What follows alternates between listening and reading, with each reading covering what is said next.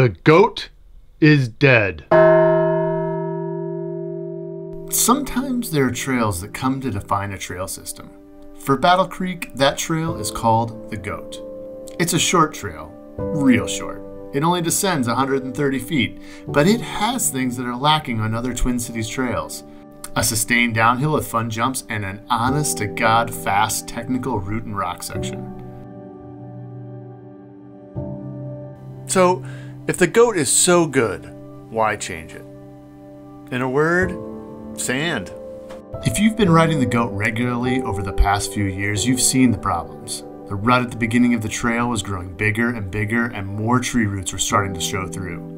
Water would run from the top of the trail, depositing sand before and after each of the jumps and at the bottom of the tree step down. This was an untenable situation for a public trail in a county park. Changes had to be made if this trail was going to be able to stay open. Like at the bottom of that tree step down, we dug down three feet before we hit black dirt. This is Adam Buck, owner of Pathfinder Trails. Mm-hmm. And black dirt is your is the natural. So I mean, sand was washing from up trail right in the last like I think the last big redo was 2012 or 2013. Yeah. And in 2012, 2013, they were going to close the trail. Yeah. He and his crew were tasked with the goat rehab. And uh, we're putting a new entrance on, which will add like 300 feet maybe, Something.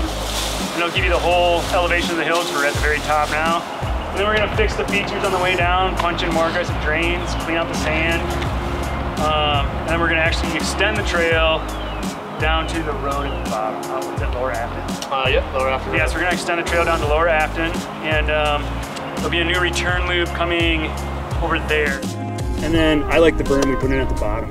Yeah. I think like the ending before to me was always kind of like, it was fun. It was Yeah. straight and fast. Yeah.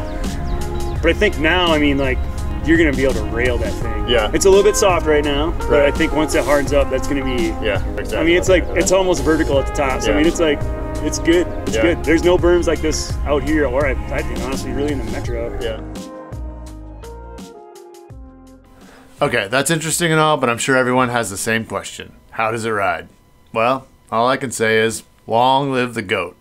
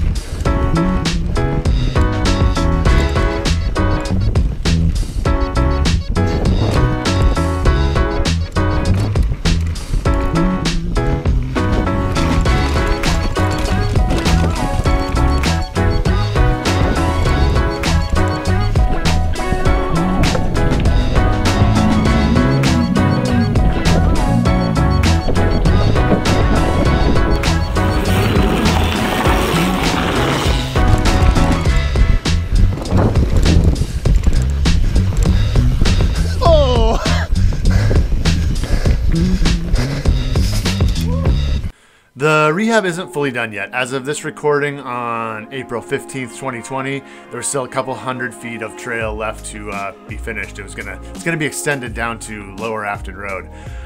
But before this last snowstorm, uh, the trail was open, and it's gonna be open again soon. So get out there, ride it, let me know what you think.